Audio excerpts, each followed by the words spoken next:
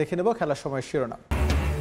নতুন কোচের অধীনে নতুন মিশন টাইগারদের মিরপুরে কাল শুরু বাংলাদেশ দক্ষিণ আফ্রিকার প্রথম টেস্ট। নিজেদের ফেভারিট দাবি শান্তর ম্যাচ জিততে তাকিয়ে স্পিনারদের দিকে।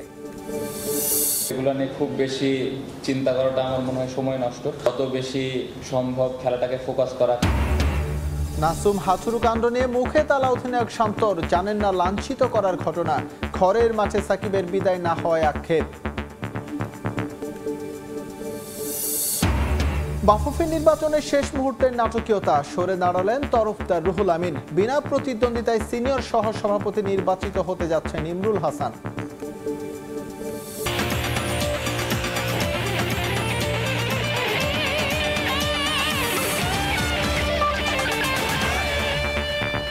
নতুন কোচ ফিল সিমন্সের অধীনে নতুন মিশন। দুই ম্যাচ সিরিজের প্রথম টেস্টে সোমবার দক্ষিণ আফ্রিকার মুখোমুখি হবে বাংলাদেশ। ঘরের মাঠ আর চিরচেনা কন্ডিশনের কারণে নিজেদের ফেভারিট দাবি করছেন নাজমুল হোসেন শান্ত। ম্যাচ জিততে স্পিনারদের দিকে তাকিয়ে টাইগার অধিনায়ক। অন্যদিকে সাকিব না থাকলেও বাংলাদেশকে সমীহ করছেন এইডেন মার্ক্রাম উপমহাদেশের সাম্প্রতিক ব্যর্থতার রেকর্ড পাল্টে দারুণ কিছুর প্রত্যাশা দক্ষিণ আফ্রিকার অধিনায়কের। মিরপুর শেরে বাংলা জাতীয় স্টেডিয়ামে ম্যাচ শুরু সকাল দশটায়।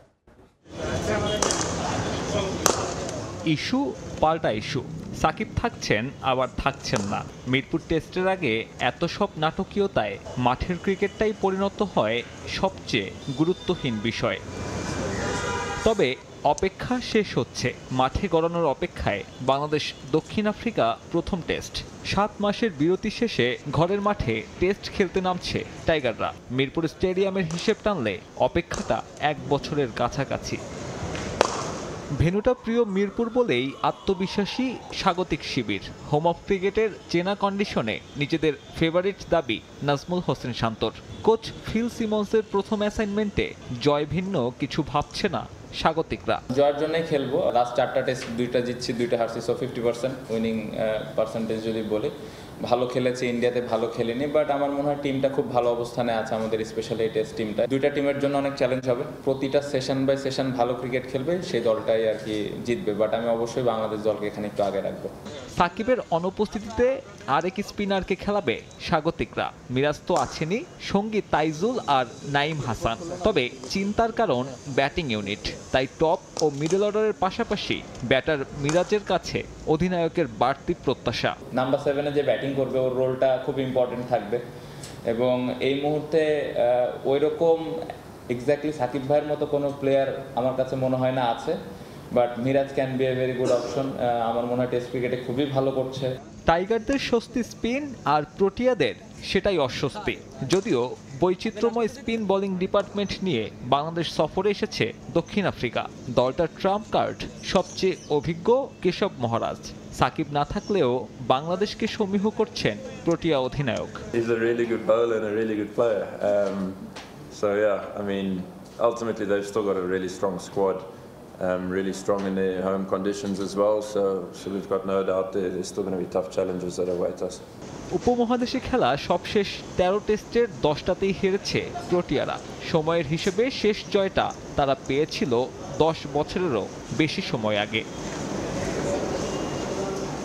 মঞ্চ প্রস্তুত চলতি বছরে হোম অফ ক্রিকেটে প্রথমবারের মতন টেস্ট ম্যাচ খেলতে নামার অপেক্ষায় নাজমুল হোসেন শান্তর দল সাকিব ইস্যুতে মাঠের বাইরের পরিস্থিতি যখন উত্তাল, তখন মাঠের পারফরমেন্স দিয়ে একটু হলেও স্বস্তি আনার সুযোগ শান্তদের সামনে।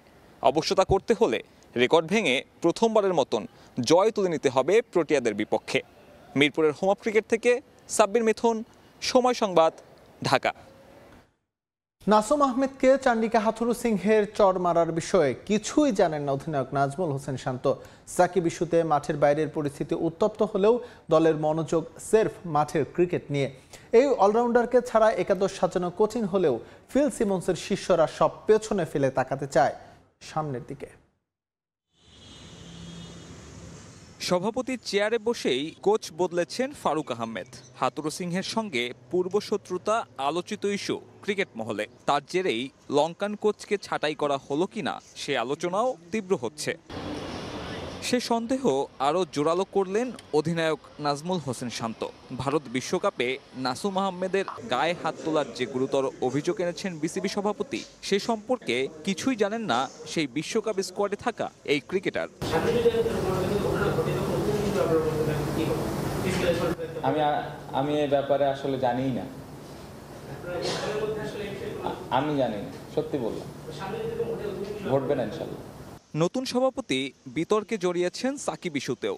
জনগণের ক্ষোভের অজুহাতে দেশসেরা ক্রিকেটারের বিদায়ী টেস্টের আয়োজন ভেস্তে গিয়েছে। সাকিব ছাড়াই মিরপুরে খেলবে টিম বাংলাদেশ। একাদশ নিয়ে তাই বাড়তি চিন্তা টিম অধিনায়কের। ওয়ার্ল্ডের মধ্যে one of the best player but খুবই আনফর্চুনেট যে কোনো কারণেই হয়নি বাট অবশ্যই এটা তো আমি পার্সোনালি ফিল করি এবং আমাদের প্রত্যেকটা প্লেয়ার ফিল করে যেটা পেন্ডিং থেকেই গেল। কোনো সমস্যা হচ্ছে কম্বিনেশন মেলাতে, অস্বীকার করার কিছু নাই। হয়তো এই জায়গাটা ঠিক করতে আমাদের আরও বেশ কিছুদিন সময় লাগবে। বাট আসলে এটা কন্ট্রোলে নেই। এটাও আমাদেরকে ওইভাবেই ম্যানেজ করতে হবে এবং যে প্লেয়ারগুলো আছে, আমার মনে হয় সবার ওই অ্যাবিলিটিটা আছে যে যার যে জায়গা থেকে রোলটা প্লে করবে।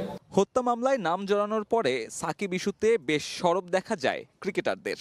তবে এবার একেবারেই নীরব টাইগার স্কোয়াডের সদস্যরা। শান্ত জানালেন, মাঠের বাইরের ইস্যুতে কান না দিয়ে দক্ষিণ আফ্রিকা সিরিজে মনোযোগ রাখতে চায় তার দল। এখন বর্তমান সময়ে যেরকম অবস্থা ফেসবুকে একটা স্ট্যাটাস দিলেই সব কিছু সমাধান হয়ে যায়, তো চিন্তা করতেছি প্রতিদিন একটা করে আমিও স্ট্যাটাস দিব যেহেতু এটা কন্ট্রোলে নেই, সেহেতু এগুলো নিয়ে খুব বেশি চিন্তা করাটা আমার মনে হয় সময় নষ্ট সো যত বেশি সম্ভব খেলাটাকে ফোকাস করা, কারণ খুব ইম্পর্টেন্ট দুইটা টেস্ট ম্যাচ সো আমার মনে হয় প্লেয়াররা ওইটাতে খুব ভালোভাবে প্রিপারেশন নিচ্ছে এবং চেষ্টা করছে ওটাতে ফোকাস করার। মিরপুরে না হলেও সাকিবকে মাঠ থেকে বিদায় জানানোর আশা হারাচ্ছেন না শান্ত। এই টেস্টে না হলেও দেশসেরা ক্রিকেটারকে অন্য কোথাও যে ঠিকই সম্মাননা দেবে টিম টাইগার্স সে প্রত্যাশা বাংলাদেশ অধিনায়কের। সাব্বির মিথুন, সময় সংবাদ, ঢাকা। নতুন বোর্ড সভাপতি আসলেও সিরিজ আয়োজনে নেই বিসিবির কোনো নতুনত্ব। টিকিট বিক্রি হচ্ছে সেই আগের মতোই পুরনো নিয়মে। সাইনবোর্ড বা দিক নির্দেশনা না থাকায় অনেককে বেপাকে পড়েন টিকিট বিক্রির বুথ খুঁজে পেতে। আবার নির্ধারিত সময়ে এসেও প্রায় আড়াই ঘণ্টা অপেক্ষায় থাকতে হয়েছে অনেককেই। ঘরের মাঠে দক্ষিণ আফ্রিকা সিরিজ, নতুন বোর্ডের প্রথম অ্যাসাইনমেন্ট পরিবর্তনের নানা আশ্বাস দেওয়া হয়েছিল, অথচ টিকিট বিক্রি হচ্ছে সেই পুরনো নিয়মে। দর্শকরা যেখানে খেলাটার প্রাণ, তারাই বারবার হন হয়রানির শিকার। টিকিট কালোবাজারের অভিযোগ পুরনো। প্রায় প্রতিটি আন্তর্জাতিক সিরিজ কিংবা বিপিএলে অতীতে দেখা গেছে অসাধু উপায়ে টিকিট বিক্রি হতে। এবার দক্ষিণ আফ্রিকা বাংলাদেশের মধ্যকার টেস্টের টিকিট কিনতে এসে দর্শকরা সম্মুখীন হয়েছেন ভিন্ন অভিজ্ঞতার। সকাল দশটা থেকে টিকিট বিক্রির কথা থাকলেও নির্ধারিত সময়ের পর দুই ঘণ্টা পর্যন্ত বুথে আসেননি বিসিবির কোনো কর্মী যার কারণে টিকিট পেতে প্রায় আড়াই ঘণ্টা অপেক্ষা করতে হয়েছে প্রত্যাশীদের। দশটার সময় দেয় নাই তারা সাড়ে বারোটা দিচ্ছে। তখন আমরা এসেছি এসে বলতেছে যে ওরা দুশো টাকা টিকিট নাই। দুশো টাকা টিকিট নাই একশো তিনশো এক হাজার আছে। তো ওরা দুশো টাকা টিকিট আবার আনতে গেছে। দশ পনেরো মিনিট দাঁড়িয়েছি আমরা। এটা বিসিবির অবশ্যই দেখা উচিত যে আমরা সময় দিছি দশটায় সেখানে কেন তারা এসে দাঁড়ায় থাকবে দুই দুই ঘণ্টা আড়াই ঘণ্টা? এটা তো তারা ঠিক করতেছে না সাধারণ জনগণের সঙ্গে। সাকিববিহীন ঢাকা টেস্ট অনেকের কাছে মলিন। ভক্তরা প্রত্যাশায় ছিলেন সাকিবের শেষ টেস্টটা গ্যালারিতে বসে দেখার। আমি সাকিব অনেক বড় একটা ভক্ত। সাকিব আল হাসান যদি আসতো তাহলে খেলাটা অন্যরকম হতো। ভাবছিলাম যে সাকিব আল হাসানকে আমরা নিজে মাঠে থেকে বিদায় টেস্টটা দেখব বা বিদায় দিব আমরা ওখানে উপস্থিত থাকব বিদায় টেস্টে। সেটা আমাদের থাকা হলো না। Player, so it's a shame he's not playing. But I don't, I don't really know what he did, um, or has done, or not done. Um, but yeah, it's a shame he's not playing, but he's a good player. দক্ষিণ Africa থেকে Dhaka test দেখতে এসেছেন এক সমর্থক এদিক সেদিক খুঁজে অবশেষে পেয়েছেন টিকিট বিক্রির বুথের দেখা একই অবস্থা ঢাকার বাইরে থেকে আসা ভক্তদেরও বিক্রয় কেন্দ্রের কোনো ধরনের দিক নির্দেশনা না থাকায় বিপাকে পড়তে হয়েছে টিকিট প্রত্যাশীদের I got somebody sent me a message saying it was gate one, so I went to gate one and there's no tickets. So he said the office, but there was no, there's no sign on the office, is there? কারণ এখানে যে আমরা ticket কাটতে আসছি কোনো signboard নেই কোনো কিছু নেই হয়তো আমরা এই জায়গাটা চিনি বিধায় আমরা আসতে পারছি। এখানে একটা সাইনবোর্ড দেওয়া উচিত ছিল যে এখানে টিকিট বিক্রয় হয়। ঠিকঠাক পরিকল্পনা থাকলে নিশ্চয়ই এমন পরিস্থিতির সম্মুখীন হতে হতো না দর্শকদের। দিনের পর দিন এই কাউন্টারটিতে টিকিট বিক্রি করে আসছে বিসিবি। যারা সবসময় খেলা দেখেন এবং কি খেলার খোঁজ খবর রাখেন, তাদের জন্য টিকিট ক্রয় করাটা খুব সহজ কারণ জায়গাটা চিনেন। তবে যারা দেশের বিভিন্ন প্রান্ত থেকে আসেন কিংবা দেশের বাইরে থেকে টিকিট কাটতে আসেন, তাদের জন্য এই স্থানটি খুঁজে পাওয়া কঠিন হয়, কারণ এখানে নেই কোনো ব্যানার, পোস্টার কিংবা দিক নির্দেশনা। পরিবর্তনের আশ্বাস নিয়ে নতুন বোর্ড সভাপতি এসেছেন, তবে তাদের এই যে প্রথম অ্যাসাইনমেন্ট সেখানে কোনো পরিবর্তনের ছাপ দেখা যাচ্ছে না। তারেক হাসান শিমুল, সময় সংবাদ, ঢাকা। এবার বাফুফে নির্বাচন প্রসঙ্গ। একটা ঘোষণা দিয়ে তার বরখেলাপ যেন করতেই হবে তরফদার রুহুল আমিনকে। এই সংগঠক এবার সরে দাঁড়ালেন বাফুফে নির্বাচনের সিনিয়র সহসভাপতি পদ থেকেও। যদিও তার ত্রুটিপূর্ণ প্রত্যাহারের আবেদন বিশেষ বিবেচনায় গ্রহণ করে নির্বাচন কমিশন। সব প্রক্রিয়া শেষে মোট ছেচল্লিশ জন প্রার্থী বিভিন্ন পদে প্রতিদ্বন্দ্বিতা করবে বলে ঘোষণা দেন প্রধান নির্বাচন কমিশনার। দু হাজার নির্বাচনে সভাপতি হিসাবে আমার প্রার্থিতা ব্যাপারে ওনারা যে ডিক্লারেশন দিয়েছেন আমি এটা সাদরে আমি গ্রহণ করলাম। ডিসিশন আমরা নিয়েছি যে না ঠিক আছে আমরা তাবি দলকে আমরা প্রেসিডেন্ট হিসাবে আমরা সমর্থন আমরা আমরা দিচ্ছি এবং প্যানেল ওই প্যানেলের সাথেই আমি আমাদেরকে আমি সিনিয়র ভাইস প্রেসিডেন্ট হিসাবে আজকে আমরা আমার পেপারস আমরা জমা দিয়েছি। সভাপতি পদে নির্বাচনের ঘোষণা দিয়ে সেখান থেকে সরে আসা তরফদার রুহুল আমিন এবার ইউটার্ন নিলেন সিনিয়র সহসভাপতি পদ থেকেও। অথচ মনোনয়নপত্র জমা দেওয়ার সময় বেশ জোর গলায় বলেছিলেন এবার আর করবেন না কথার বরখেলাপ। তার প্রত্যাহার করা আবেদন নিয়েও নাটকীয়তার শেষ নেই। প্রধান নির্বাচন কমিশনার বরাবর চিঠি লেখার কথা থাকলেও তিনি পাঠিয়েছেন সাধারণ সম্পাদককে। যদিও বিষয়টি করণিক ভুল ধরে নিয়েই তা গ্রহণ করে বাফুফে নির্বাচন কমিশন। ক্ল্যারিক্যাল মিস্টেক সংশোধন করার সুযোগ সবসময় থাকে। এটা আইনের ভাষা। ক্লারিক্যাল মিস্টেকের জন্য কাউকে শাস্তি দেওয়া যায় না। সিনিয়র সহ সভাপতি পদে জনাব মোহাম্মদ ইমরুল হাসান একক প্রার্থী। সুতরাং ভোটের দিন উনি কংগ্রেসের সামনে বিনা প্রতিদ্বন্দ্বিতা নির্বাচিত বলে ঘোষিত হবেন। সিনিয়র সহসভাপতি পদে তরফদার রুহুল আমিন মনোনয়ন প্রত্যাহার করায় একক প্রার্থী হিসেবে জয়ী হতে চলেছেন বসুন্ধরা কিংস সভাপতি ইমরুল হাসান। ২৬ অক্টোবর নির্বাচনী কংগ্রেসে তাকে বিজয়ী বলে ঘোষণা করবে কমিশন। প্রত্যাহারের আনুষ্ঠানিকতা শেষে মোট ছেচল্লিশ জন প্রার্থী পেয়েছেন ব্যালট নম্বর। সভাপতি পদে তাবিত আওয়ালের প্রতিদ্বন্দ্বী থাকলেও সেখানে ঝাঁজ কম, যেমন সারা শব্দ কম সহ সভাপতি পদে ছয়জন প্রার্থী থাকার পরও। এবার রেকর্ড সাঁত্রিশ জন প্রার্থী প্রতিদ্বন্দ্বিতা করবেন সদস্য পদে, যেখানে আভাস আছে হাড্ডাহাড্ডি লড়াইয়ের। কম্পিটিশন হতে পারে আপনার এক্সিকিউটিভ বডিতে যেটা সদস্যগুলোতে। এটা একটু হার্ড হবে আমার মনে হচ্ছে। যেহেতু সাতত্রিশ জন মেম্বারের ভিতরে পনেরো জন উইন করবে, বাকি সবগুলোই তো লুজার হবে। কম্পিটিটর যত ভালো থাকে, তত ভালো লাগে। প্রতিযোগিতার মাধ্যমে নির্বাচন করে আসা একটা আনন্দ থাকে। ডেলিগেট যাদেরকে চুজ করবে, যারা ক্রীড়ার সাথে জড়িত হ্যাঁ ওদেরকে নির্বাচিত করে আসবে। ওইভাবে যদি আসতে পারি, খুব খুশি হব।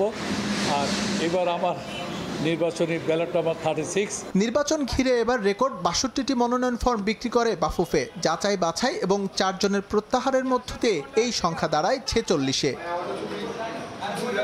এস এম ইকবাল সময় সংবাদ ঢাকা। এদিকে ঘরোয়া ফুটবলে ধারাবাহিক সফলতার পর এবার এশিয়ান পর্যায়েও সফলতা চান বসুন্ধরা কিংস সভাপতি ইমরুল হাসান। এফসি চ্যালেঞ্জ লিগে অংশ নিতে পাঁচ দিন আগেই ভুটান যাচ্ছে বাংলাদেশের লিগ চ্যাম্পিয়নরা।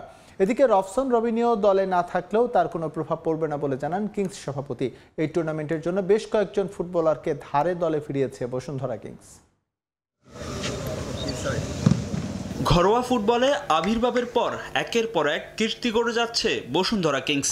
গেল মৌসুমেই রেকর্ড গড়ে টানা পাঁচবারের মতো বাংলাদেশ প্রিমিয়ার লিগের শিরোপা জিতে ক্লাবটি। সেই সঙ্গে ঘরোয়া ফুটবলে ট্রেবল জয়ের অনন্য কীর্তিও গড়ে তারা।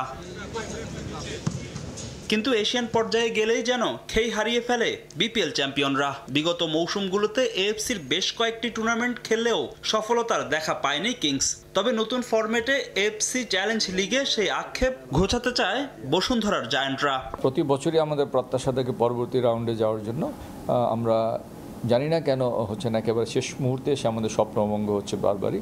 তো আশা করছি যে এবার আর আমাদের স্বপ্নভঙ্গ হবে না। সাবেক কোচ অস্কার ব্রুজনের পরিবর্তে কিংস ডাগ আউটে এসেছেন নতুন কোচ ভালেরিও তিতা।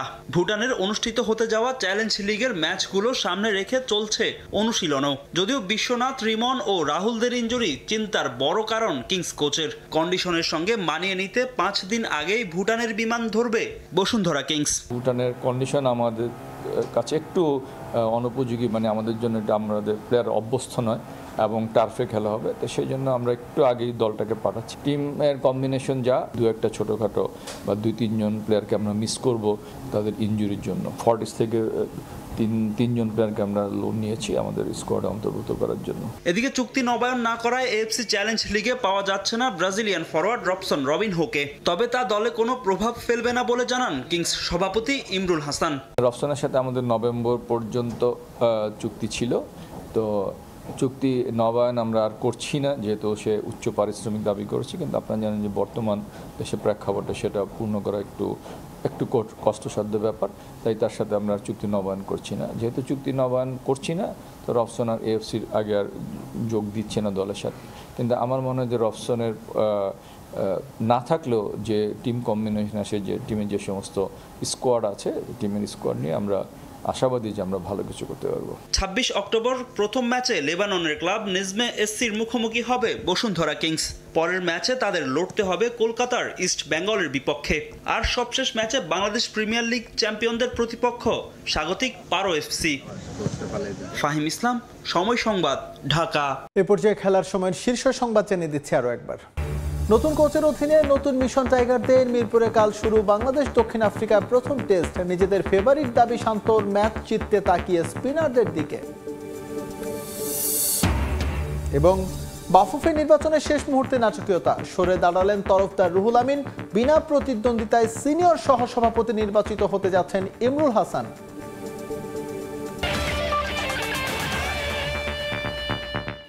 এই ছিল খেলার সময়ের এখনকার আয়োজন। সঙ্গে থাকুন সময়।